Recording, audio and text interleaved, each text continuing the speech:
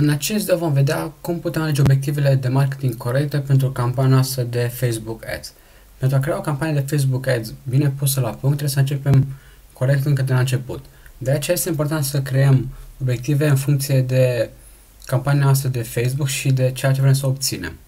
Facebook ne dă mai multe opțiuni de a crea obiective, după cum putem vedea mai jos. Fie putem crea o prezență online, adică să ne creștem awareness-ul și brandul online, fie prin vizibilitate, acestea două fiind aproape la fel, fie să stimulăm descoperirea de noi oferte, să generăm clienți potențiali prin Facebook trafic pe site sau prin Facebook Leads Ad și să creștem vânzările prin conversii sau prin trafic pe site, fie să câștigăm clienți loiali.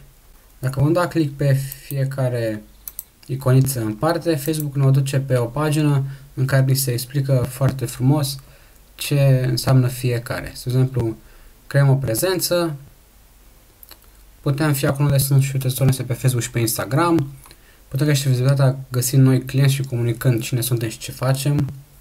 Pe lângă asta putem să stimulăm descoperirea să ne exploreze online și în persoană și produsele și serviciile noastre.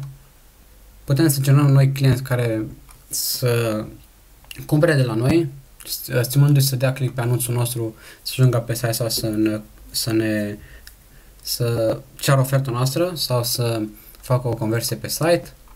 Putem crește vânzările, articole pe care vrem noi să le vindem sau ei vor să le cumpere și putem să câștigăm clienți loiali, practic să retargetăm clienții care au cumpărat noi sau cei care au fost pe site-ul nostru.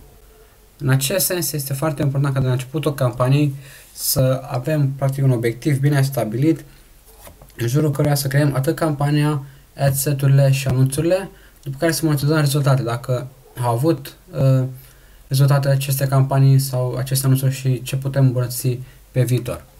În acest sens, Facebook-ul ne lasă să promovăm anunțurile noastre fie pe Facebook și Instagram, pe Messenger, Audience Network sau pe Workplace. În acest sens, în următorul video vom vedea care sunt principalele indicatori de performanță a unei campanii de Facebook.